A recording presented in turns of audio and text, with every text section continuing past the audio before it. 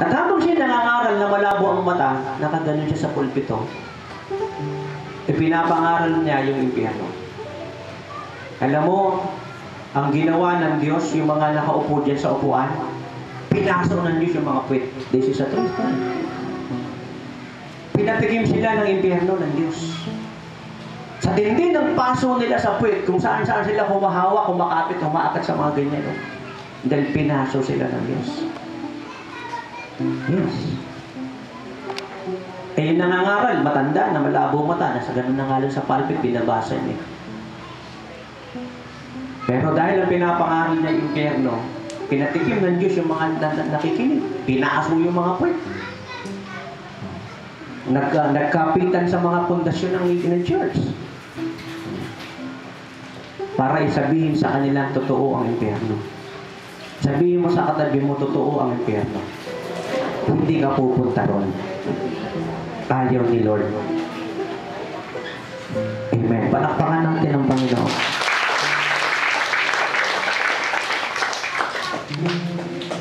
Ano ang sabi ng Galatia 6.7? God cannot be mocked. Whatever a man soweth, he shall also reap it. Kung ano ang tininim ng tao, aanihin niya yan. Una, pag panay ang sigarilyo mo, anong sinisira niyan? Baga. Pag panay inom mong alak, anong sinisira niyan? Atay. Pag puro pang bababae mo, anong mangyayari? Puro pang lalaki mo, anong mangyayari? Hmm. Hindi naman tayo umaayon na si Jennifer Laude na dating Jeffrey Laude ay pinatay ng isang US Marine. Hindi tayo umaayon doon. Pero hindi naman din tayo umaayon na ang pangalan niya Jeffrey, pinalitan niyang Jennifer. Hindi rin naman tayo umaayon, bag lalaki siya, nagbaba, nagpapakababae siya. Tapos may boyfriend na siyang aliman, gusto pa ng Amerikano. Abay, grabe naman, gusto lahat tikman. Imported pa. Bakit yung mga Pilipino mahilig sa imported?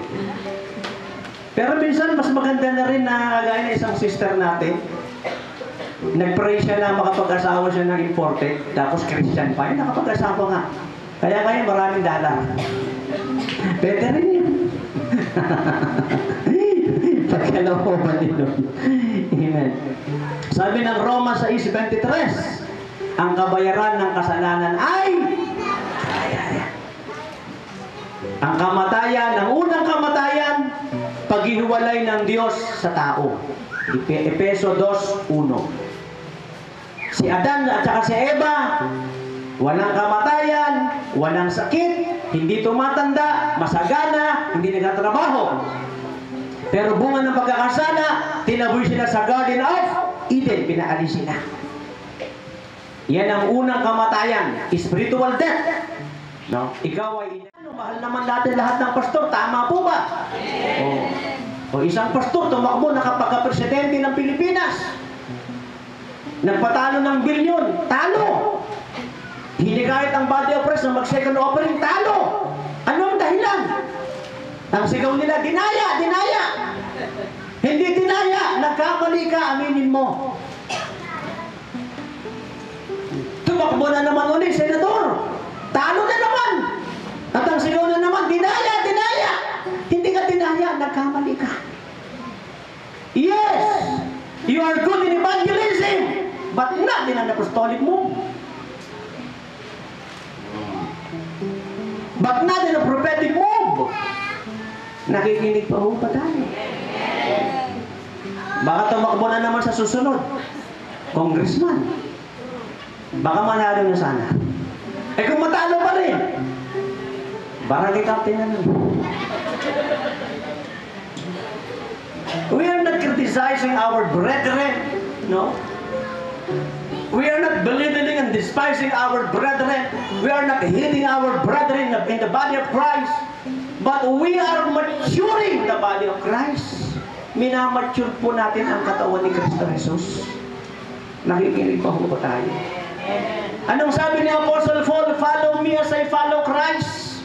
Sundan ninyo ako kapag sinusund, sinusundan ko si Kristo. If I'm not following Christ anymore, so don't follow me. Susundan lang ho natin sila kung sinusundan nila si Kristo. Pag hindi na ho nila sinusundan si Kristo, wag na ho tayong sumunod. Amin po ba? Eh, bilyong, bilyong salapi natalo sa eleksyon. Eh, pinatayo na lang sana ng mga church yan. Nag-evangelist at nag-crusades na lang sana. Those second offerings, no? That was taken in every Christian churches, no? Eh, ginamit na lang sana. Para sa gawain ng Lord, eh, mas mainam pa po. Amen po ba?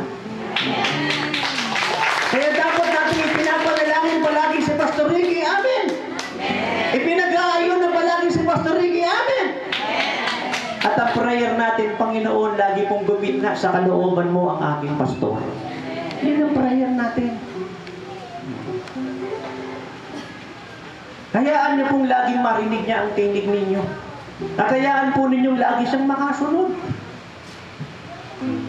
At huwag niyo po siyang papatakbuhin sa eleksyon. Huwag niyo rin siyang pag-aartistahin. Joke lang. so ano pong sabi ng Biblia? Yung mga masasama po ay parurusahan. Parurusahan ng mga masasama, hindi nagbibiro ang Diyos. Ang unang, ang unang kamatayan ay paghihiwalay sa Diyos. Pangalawang kamatayan, the separation of body from the soul. Yung katawan humihiwalay sa kaluluwa. Pag namatay na tayo, babalik sa alabong ang ating katawang lupa. Tama. Pero yung ating kaluluwa kasama espiritu, buhay yan. Buhay na buhay. At meron dalawang patutunguhan. Heaven or hell. Ganun po yan. At ang panghuling kamatayan ay ang parusa sa dagat-dagatang apoy ng impyerno. May mga pagngangalit ng ipit. Murahan ng murahan, sisihan ng sisihan. Andun si Satanas, andun ang mga mga demonyo sa impyerno. Walang hanggang parusa. Walang hanggang magtitiis at walang hanggang paghihirap. Pakis, pakisabi, sabi ng Diyos, sa lahat ng mga matutuwid, na lahat ng kanilang mga pagtitiis, hindi mawawala ng kabuluhan na regalo sila. Pero pakisabi rin sa lahat ng mas- masasama, may parusa para sa kanila kung magpapatuloy sila. May parusa. Kaya alam ninyo, kung kaya nyo magpatawad ngayon, magpatawad na kayo. Kasi pagpatay na kayo, hindi na kayo makakapagpatawad pa. At kung kaya nyo magpatawad na ngayon, patawarin nyo na yung dapat patawarin. Kasi baka patay na yan, saka nyo papapatawarin. At habang buhay pa ang inyong mga mahal sa buhay, ngayon nyo na bigyan ng bulaklak. Flowers for you, roses for you. Bigyan mo. Di ba yung mga patay pinapakain? Di ba? Ibigay mo na lang yan sa buhay. No? Kandila binibigay sa patay, wag mo rin ibibigay sa buhay. Pwede rin pang branaw. Di ba yung mga mayayaman, may taga-iyak? Babayaran yung ng mayaman yung mga ano. Sige, iyak, umiyak ka para sa ano? Iyak nang iyak kasi may pera yun eh. Di ba yung mga mayayaman, mamahalin yung kandila nila, di ba? Yung mga mahihirap, sperma. Yung mamurahin. Yung mga mayayaman, merong special mass, di ba? Special misa. Yung mga mahihirap, wala. Yung mga mayayaman, di ba? Mamahaling bulaklak, di ba? Ay, yung mga mahihirap, bulaklak ng talbos ng kamote. yung mga mayayaman, pinapakain sa mga patay nila, mga hamon, mga murkon. Yung mga mahihirap, ang pinapakain nila sa Pinas. Noodles. Nakakawawa ang mga mahihirap, kaya hindi ko totoo yung prayers for the dead. Hindi totoo yung purgatory at hindi totoo yung gloria. Kaya sabi ng mga ngaral ng refugees, give your best to God while you are still alive. Bigay mo na sa Diyos ang the best mo habang buhay ka pa. Ibigay mo na ang the best mo sa kapwa mo habang buhay ka pa. No? Baka hindi mo pa nasasabi sa anak mo, I love you. Sabihin mo. Bakit bakit hindi mo nasasabi sa mama mo, sa mama, sa papa mo, I love you bago matapos ang, ang gawain natin, sabihin mo, I love you. Alam niyo, merong isang tao na ang kanyang anak ay napariwara. At kung ano-ano ang ginagawa niya sa kanyang anak. Yung anak niya may sariling sasakyan. May sariling bahay. Maraming pera. Yung anak niya na nakakaikot around the world. Know, ang kanyang anak ay hindi ayos ang pamumuhay. Alam mo kung bakit? Sapagat wala siyang oras para sa kanyang anak. Nasabayan niya sa pagkain. Magkwentuhan silang dalawa. Kumusta na pag-aaral mo, anak? O kumusta na yung mga yung mong nililigawan ngayon? Yan na ba talaga? Yun ang kulang niya. Yung magbigay siya ng oras sa kanyang anak. Amen! Pero yung pera, binibigay niya sa anak niya. Mga magagandang eskwelahan binibigay niya, magandang sasakyan, maraming pera, magandang tahanan binibigay niya. Pero something is lacking. This is special moment, this special time when his kid, wala yun. Nakikinig pa ho ba tayo? Yun ang.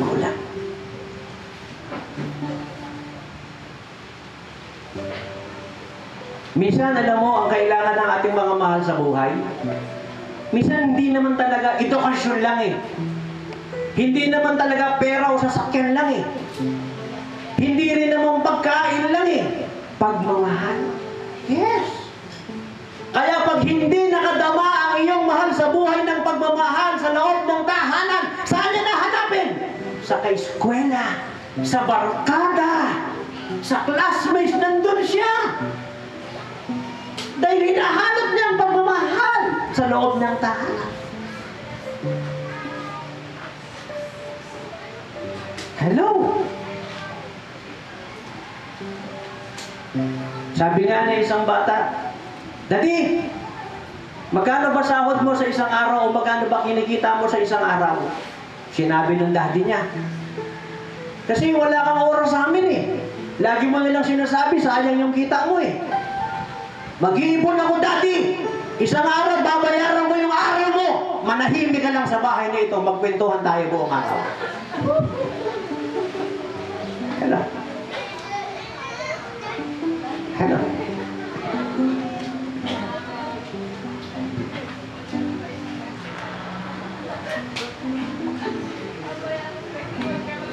Tingin po kayo sa akin at malapit na po akong magwakas. Dalawang oras na lang. Ah, hindi, hindi, hindi. Malapit na talaga. Konti-konti na lang. Tingin po kayo sa akin. Ito yung mga mahal mo sa buhay. Gusto mo silang dalhin dito. Sa mainam. Alam mo mainam yan eh. Pero wala ka namang oras para silang tugunan. Wala ka namang oras para sila magkwin, para kayong magkwentuhan. Wala kayong oras para kayong magbanding-banding.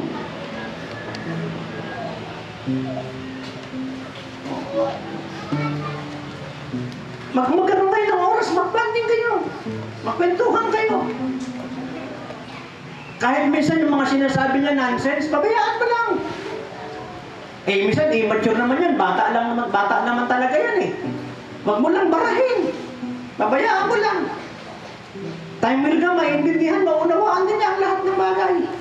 Magmamature din yan. Minsan, sabi ng mga magulang, turuan niyo yung anak ko, napapariwara na.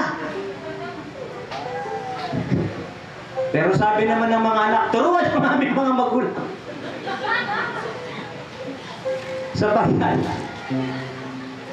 hindi nila alam kung paano kami tutugunan. You know, whether you like this or not, there are seminars for the, for the kids. And there are also seminars for the parents. At ang tawag nila roon is parenting. Parenting. How to raise up kids. How to raise up children. Nakikinig po ba tayo? Ito po ang sekreto. Malapit na ako magtapos, isang oras na lang. Bigyan mo ng masarap, magandang oras ang iyong anak. Bigyan. Kahit parang boring lang yan, parang ano, okay, pakaya mo. Kung dadalhin ka niya sa ganito, dadalhin ka niya sa ganito, may papaguan siya, gawin mo lang. Ayos lang yan. Nakikinig po ba tayo? Minsan, basketball kami ng anak ko. Sige mo, 51 ha, 51 years old. Akala mo lang, 31 ako ha. 51 na ako. Yung anak ko, grade 7, 13 years old. Pasahan ako ng bola. Pa! Laro tayo! Sige, Papa, walang anak-anak dito. Eh, siyempre ba naman, 51 anyos, ilaban mo sa 13 years old. yung mga tira ko, kapos eh. Hindi mo napasok eh. Di ba, eh? Babawi ako sa susunod. Pero alam mo, malaking bagay sa kanya yun. Para, eh, para sabihin, yung tatay ko kahit kapos yung tira, at least kalaro ako. Amen. Kaya, alam mo, ganun gawin mo, brother eh. Makipaglaro ka ng basketball isang mo. Pwede yun. Pwede yun. Ang kaikampi mo si Sister Ross, papara sa iyo bola sa taga-shoot ka.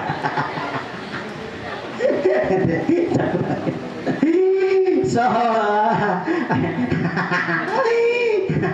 I'm almost done. Ang, ang sabing ganoon, sa Isaiah 1:18 to 19, Isaiah 1:18 to 19. Ah, Isaiah 1:18 to 19. Halika. Sabi ni Lord, mag-usap tayo. Alam mo, kahit gaano ka kasama, patatawarin kita. Sabi ni Lord, Isaiah 1:19, Come, let us reason together. It doesn't matter if you are so wicked, I will forgive you. And secondly, kapag tayo raw ay nakahingi ng tawad kay Lord, Isaiah 119, no? And you will enjoy prosperity and blessings. You will eat the best of the land.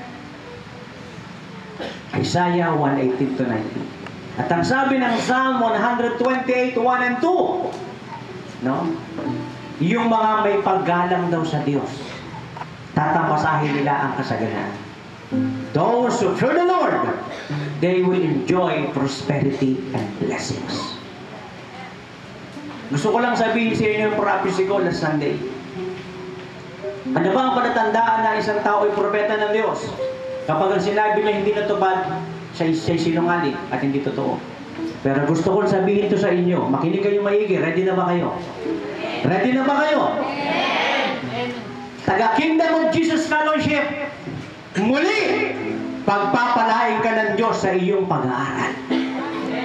Muli, pagpapalain ka ng Diyos sa iyong trabaho. Muli, pagpapalain ka ng Diyos sa iyong negosyo. Muli, mararanasan ang pagtaga, pagtaas ng at pag-angat ng panahon ng Panginoon ngayon na.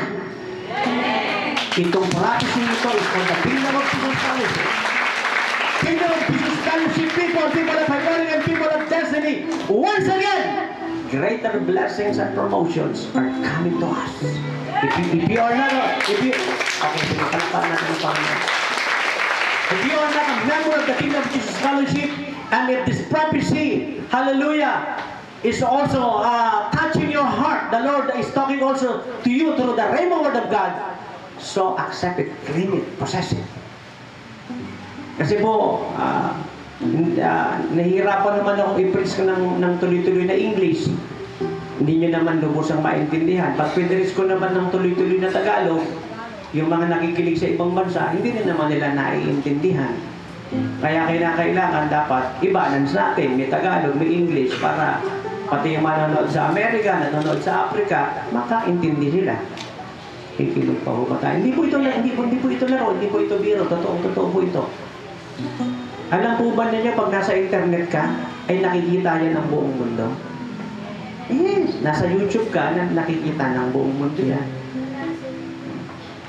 Kaya nga si Charles Pempenco naging international star dahil nga sa YouTube eh. Kaya na si Charles Pempenco nalis ng landas. Babae na, nagpakalalaki pa.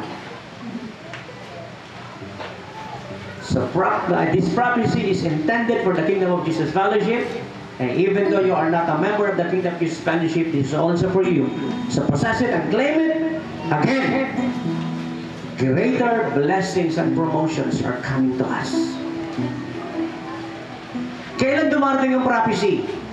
Pag pasuko ka na, pag ayaw mo na, pag paatras ka na, maraming problema, maraming pagsubok, maraming laban ng buhay, parang hindi totoo.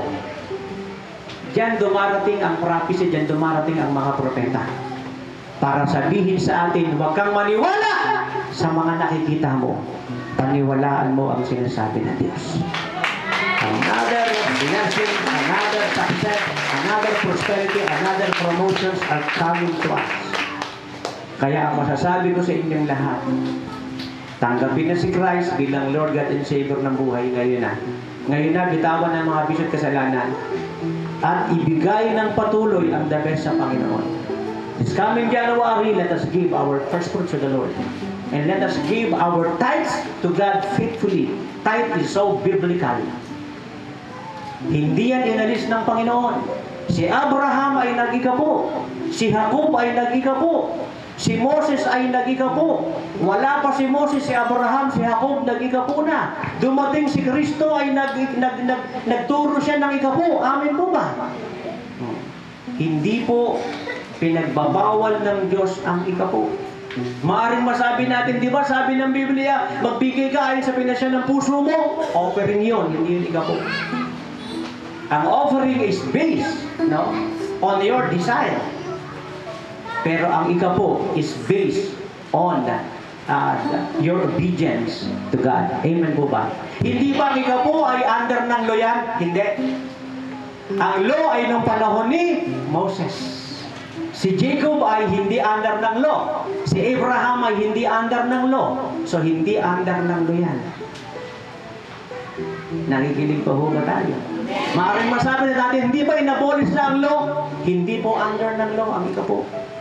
Dahil si Abraham ay nagikapo. Saan nag, saan po nagbigay, saan po bang Bible sa Biblia? Ah, saan po ba sa Biblia na nag, nagikapo si Abraham? Genesis 14, 19 and the following verses. Genesis 14, 19 at mga sumusunod na mga talata.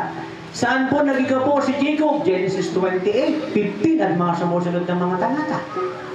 Genesis 28. Genesis pa lang yan ha. Wala pa si Moses noon. Nakikinig pa ho ba tayo? Ulitin kong muli.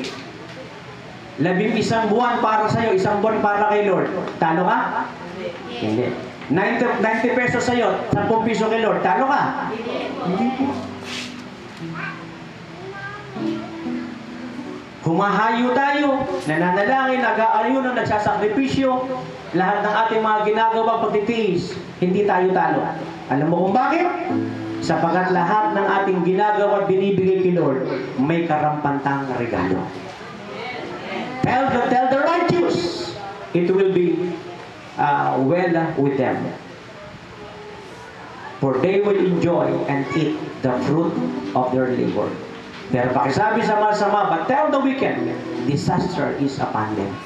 Kaya na bang ibig kong tukuyin, lahat ng magbabaling loob kay Kristo, lahat ng magsakripisyo para kay Kristo, hindi ho mawawala ng kabuluhan yan. Dahil kay Kristo, walang talo. Amen? Kaya lahat ito ngayon. Sige po, yung mo tayo tumikit. Huwag mong kakausapin, kalibat ka ng likod at harapan. Huwag mong kikibuin, huwag mong kakalabitin, huwag mong titingnan, huwag mong kakausapin, kalibat ka ng likod at harapan. Bow down our heads and close our eyes. Yung mo tayong lahat tumikit. Hallelujah.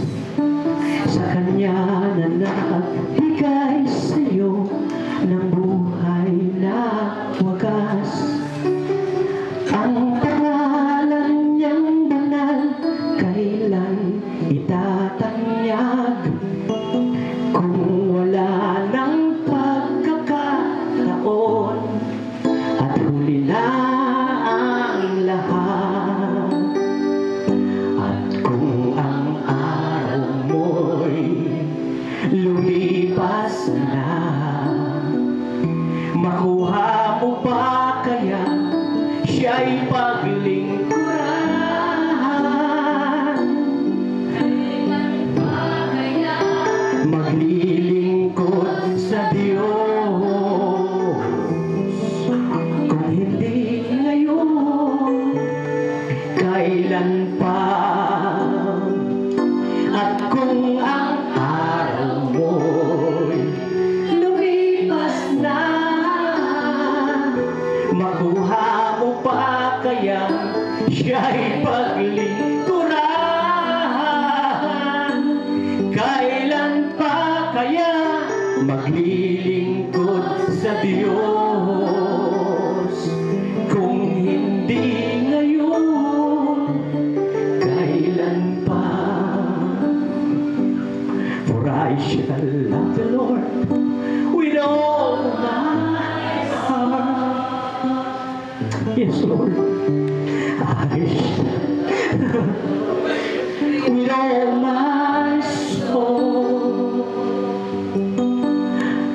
I love the Lord with all my mind, with all my heart, with all my soul.